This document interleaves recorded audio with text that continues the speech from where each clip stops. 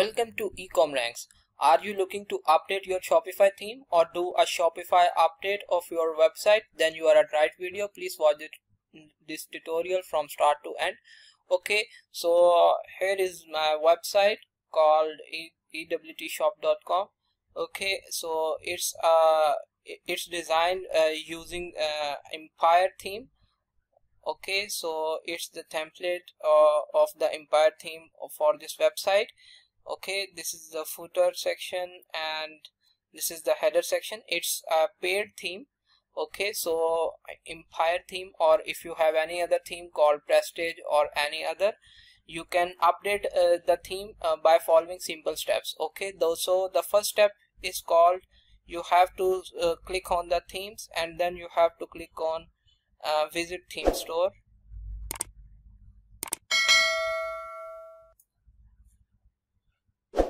okay it's taking uh, uh, it will take few minutes.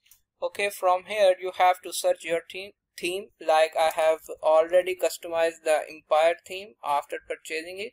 So I will check my theme whether there is an update or not. I have searched for it. Okay so here is my theme called Empire. I have to click on it.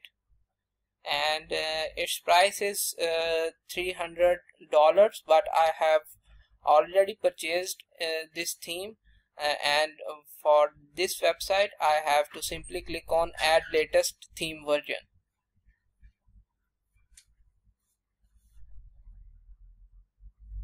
Okay it's adding empire to your online store themes.